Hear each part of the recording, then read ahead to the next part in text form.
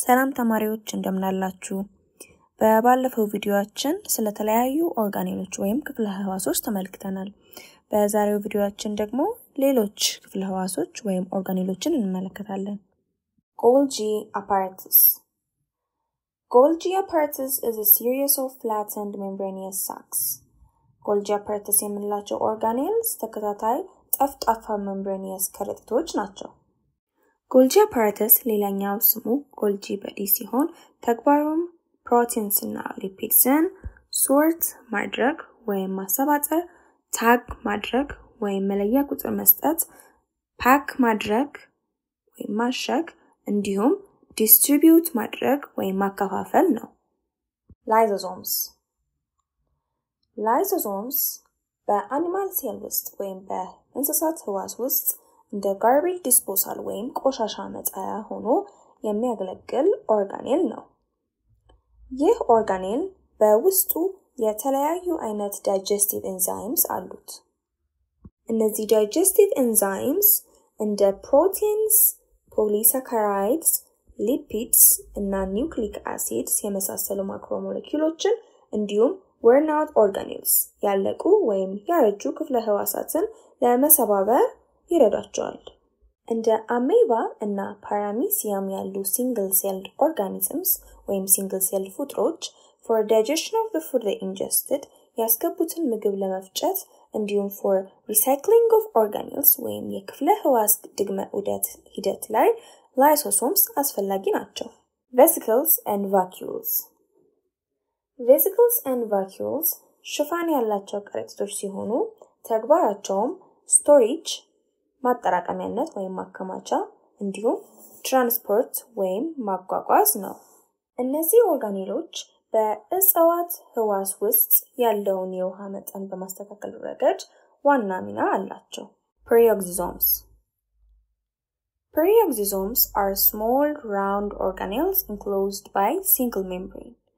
peroxisome የምንላቸው ኦርጋኔሎች ትንሽ ክብ ክፍለ ህዋሶች ሲሆኑ አንድ ስስ ሽፋን አላቸው። የእነዚህም ኦርጋኔሎች ተግባር oxidation reaction ወይም ግብአተ ኦክሲጅን አቅርቦት እንዲከሰት በማድረግ fatty acid እና amino አሲዶች እንዲሰባበሩ ማድረግ ነው።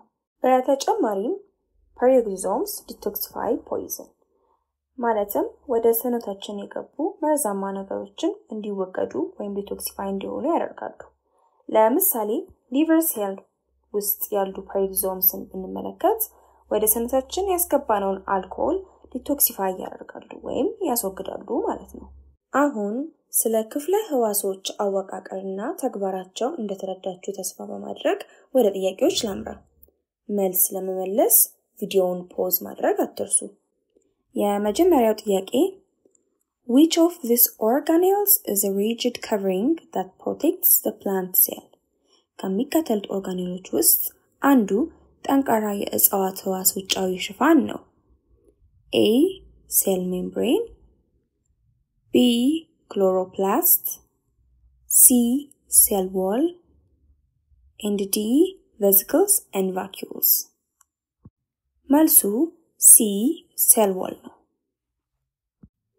ሁለተኛው ጥያቄ which organelle is responsible for sorting tagging, packaging, and distribution of lipids and proteins. ከሚከተሉት ኦርጋኔሎች ውስጥ ሊፒዶችንና ፕሮቲኖችን የማሰባጠር፣ መለያ የመለጠፍ፣ የማጨቅ እና የማከፋፈል ተግባር የሆነው የማን ነው? A. vesicles and vacuoles፣ B. endoplasmic reticulum፣ C. lysosomes፣ D Golgi apparatus።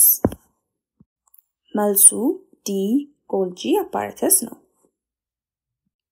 ሶስተኛ ጥያቄ dash organelles are called the cell's garbage disposal። dash ኦርጋኔሎች ቆሻሻ መጣያ በመባል ይታወቃሉ።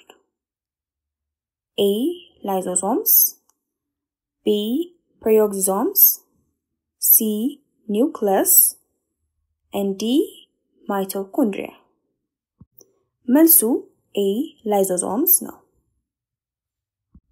ወደ አራተኛ ጥያቄ ሳምራ what are the two types of endoplasmic reticulum?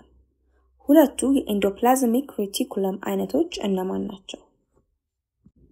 መልሱ rough endoplasmic reticulum እና smooth endoplasmic reticulum ናቸው።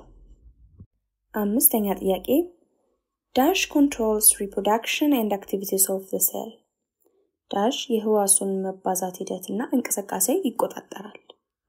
መልሱ ኒውክለስ ነው። የዛሬው ቪዲዮአችን በዚህ ያበቃል። የሳቀማ website ቻናላችንን like፣ share፣ subscribe ማድረግ እንዳትረሱ።